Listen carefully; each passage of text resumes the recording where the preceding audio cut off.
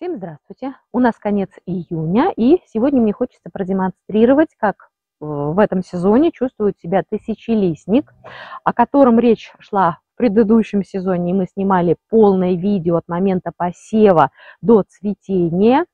И э, благополучно перезимовав, тысячелистник в этом сезоне радует нас своим цветением с середины июня. Уже две недели продолжается цветение, но понятно, что с каждым днем все больше и больше соцветий распускается.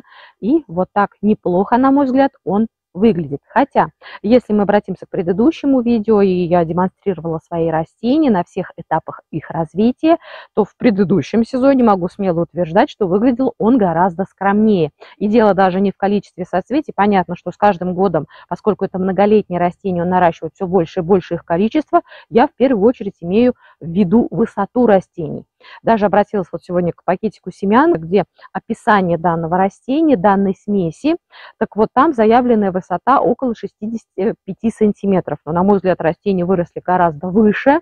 И думаю, что здесь немножечко повлияла и конкуренция с монардой, хотя, в принципе, солнце они получают в равных объемах. Возможно, все-таки по питанию определенные есть уже споры, но выглядит все равно очень эффектно. И я думаю, что рассчитывала, что тысячелистник здесь как минимум три года, а даже больше, до пяти лет он может расти на одном месте, но думаю, что здесь действительно тесновато, и уже осенью хочу часть растений высадить. Возможно, перемещу на соседнюю грядочку к лилиям. Думаю, что вот замечательно как раз и данный сорт тысячелистника с такой интересной а, пастельной окраской будет замечательно сочетаться с лилиями гибридами и в то же время прикрывать их стволы. Как мы знаем, что после, отцвет... когда лилии у нас отцветают, то мы вынуждены будем срезать. Его как раз остаются такие не очень приглядные стволы, хотя они зеленые, до, э, в принципе, до конца лета и даже осени стоят, и, к сожалению, голенькие уже не так это все будет смотреться и, и будет декоративно. Так вот, тысячелистник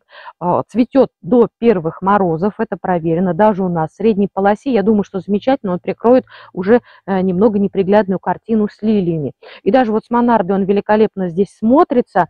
Монарда у меня также высажена была в прошлом году, и сейчас она выросла уже тоже, как вы видите, высотой метр с лишним, готовится к цветению, появляются вот бутоны, уже буквально в скором времени я жду э, распускания красных соцветий. Это классическая монарда, красная, привычная, та, которая росла и, может быть, у кого-то растет на участках. У наших бабушек очень была распространена, и поскольку именно данный сорт часто использовали при приготовлении чая.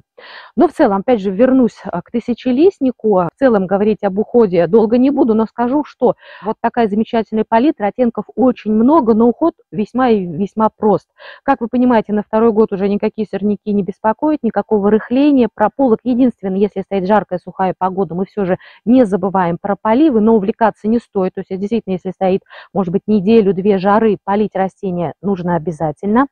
Э, весной вернусь к тому, что весной, как только растения тронулись в рост, была подкормка комплексным минеральным удобрением, и все. Но вот сейчас, думаю, такое вот замечательное обилие цветов разных оттенков, думаю, что растение нужно поддержать, и еще раз произведу подкормку комплексным жидким минеральным удобрением. Прежде обязательно нужно растение полить.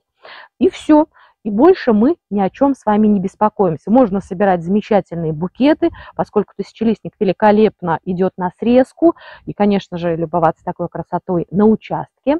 И хочу еще сказать, что не смогла а, в этом сезоне удержаться и приобрела еще два сорта тысячелистника. Сорта э, рубиновая королева или вишневая королева, он у разных производителей немного по-разному отличается, но цвет именно рубиново-красный, такой вишневый, хочется более насыщенных оттенков. И э, тысячелистник птармика, это белые такие э, шапочки, по крайней мере, э, надеюсь, что именно такой и будет. И если посмотреть сейчас на грядки, то как раз тысячелистник птармика готовится к цветению, уже набирает бутоны, и надеюсь, что в ближайшем скором времени увижу его цветения, а рассада тысячелистника этого года еще весьма скромно выглядит. Это такие аккуратные куртинки, только-только набирающие объем. Одно буквально растение с пяти выпустило уже а, боковые такие побеги. И я надеюсь, что в принципе также будет цвести в этом году. По крайней мере, увижу, соответствует ли описание, заявленное на этикетке, тому, что у меня вырастет. Ну, наверное, все, что хотела сегодня сказать и рассказать. И если кто-то еще не пробовал выращивать тысячелистник у себя на участке, рекомендую, поскольку весьма нетребовательное растение, а, замечательно растущее как на открытых солнечных участках, так и а, замечательно может чувствовать себя и в полутени, не требующего какого-то а, большого ухода, но, тем не менее, вот так замечательно будет смотреться и украшать наш сад. А на этом сегодня все. Желаю вам красивых цветов и до скорых встреч.